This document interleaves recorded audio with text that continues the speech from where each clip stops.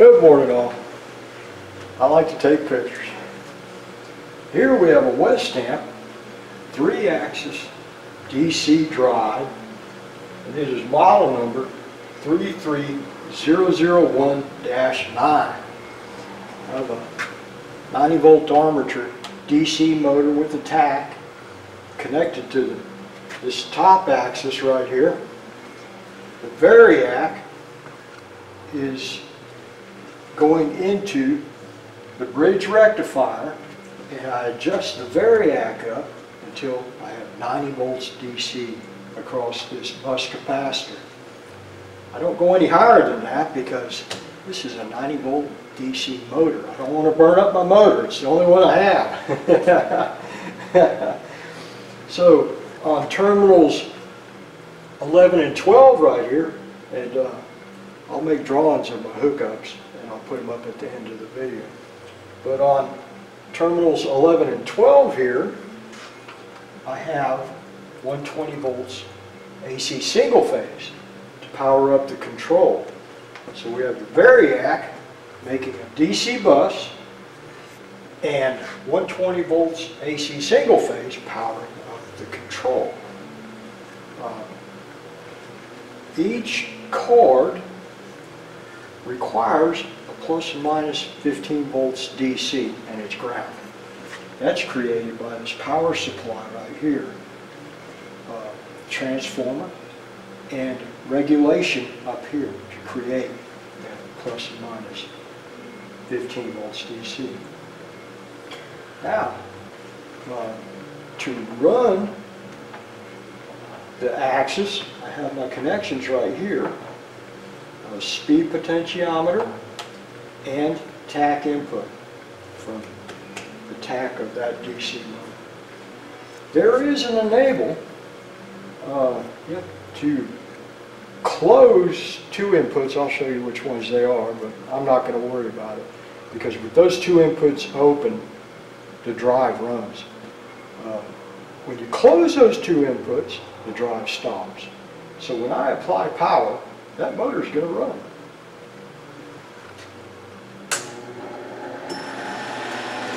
Two cooling fans are kind of noisy. Um, but you can see we're running.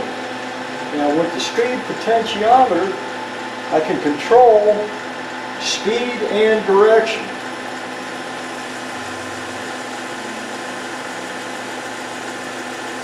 Let's go back the other way.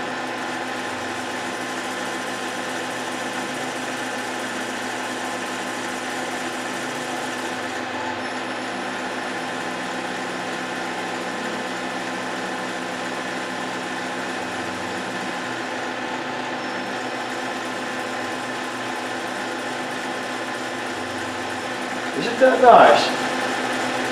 Now the customer said that none of the axes would run. And they measured across the DC bus and they had zero volts DC.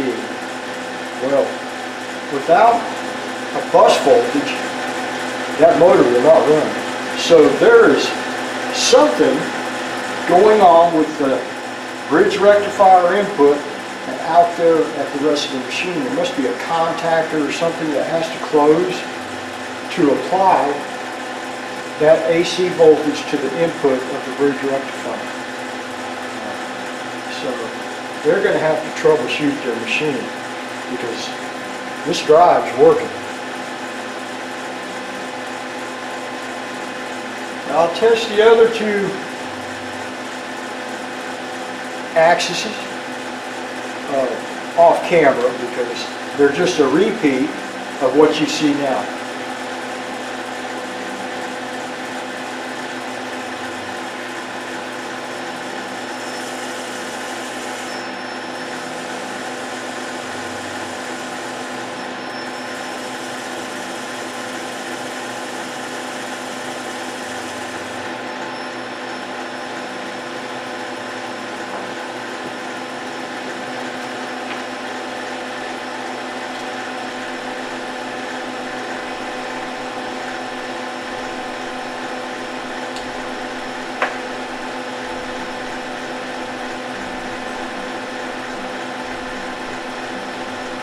Taking a movie of a movie.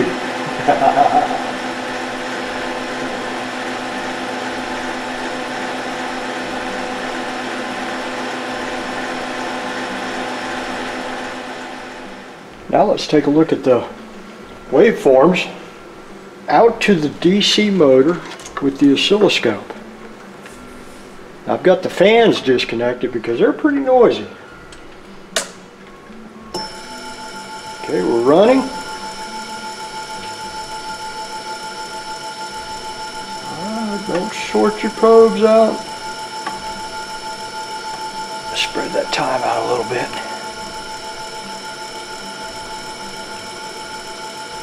Increase our waveform.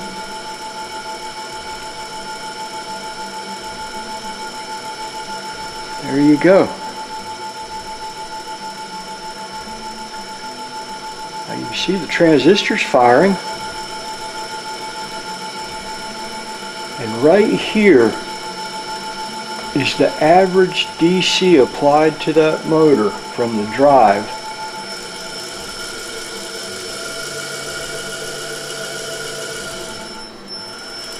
Pull it back the other way. I have to correct that triggering.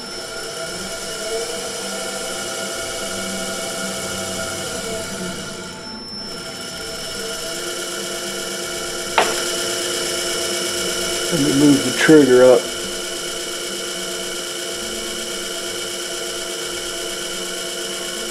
There we go. We're locked in now. But zero volts let me, uh, let me show you where zero volts is. Zero volts is right there, or just barely. We're still moving. And when I increase the speed, you see that goes, goes up from zero. Now we're running clockwise right now. Let's go counterclockwise and we'll go below zero. You see that?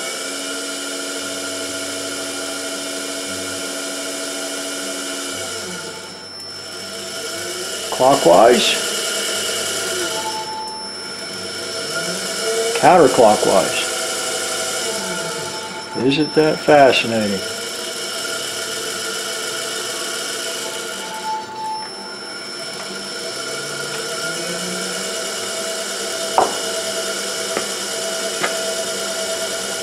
Okay. Power down. I'll show you what happens if we get the armature or the tach backwards from each other.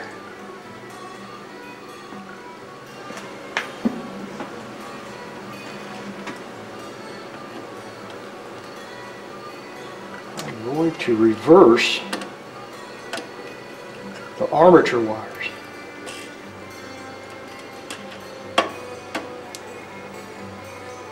We'll watch the motor run away. I won't leave it on for very long, but if you get the armature wires backwards from the tach wires, this motor will have no speed control. It will run away. I won't be able to control it with that speed potentiometer. I'm not going to leave it on long enough. Uh, this is just for demonstrations purposes.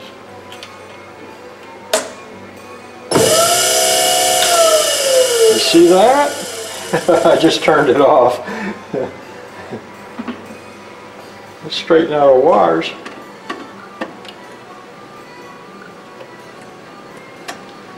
So when you're hooking up your DC motor and tach wires, you want to make sure that uh, that you have them properly wired. Otherwise your motor will run away. Might tear up your machine or get somebody hurt. Here we go. Now we have control.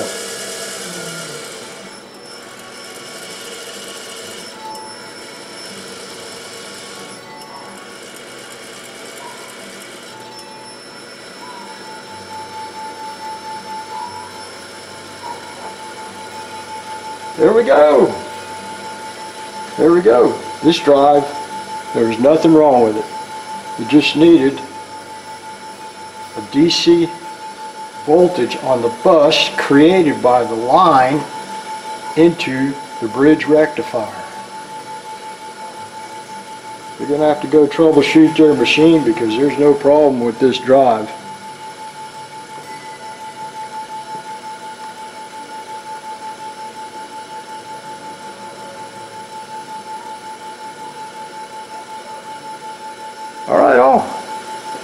Have a good rest of your day.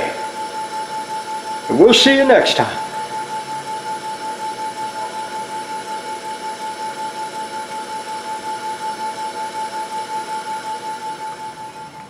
Evening all. Here we're going to talk about the connections to make this Westamp DC motor drive model 33001-9 run this motor. Now I showed three motors over here, but I only had one motor. Uh, and it being connected to one and two when I was testing that first axis moving that motor to 3 and 4 uh, when I wanted to run the second axis and moving that same motor to 5 and 6 when I wanted to run that third axis. Only one motor, but three are shown. Here's the tach input on uh, J1 uh, pins 3 and 4, 4 being common. Now as you saw in the video, we don't want to get the relationship between this tach generator voltage and that motor voltage backwards because that motor will run away. now down here on uh, pins 8 and 9 of J1, if 8 and 9 uh, contacts inputs are open, that motor will run. To stop that motor, to disable that motor for running, we close 8 to 9. But I didn't have no switch on 8 and 9. I just left it open. And when we powered up that um, um, Westamp DC motor, that it automatically got up and go. Now here is our speed potentiometer. I had the 10 kilo ohm uh, uh, resistor potentiometer right here.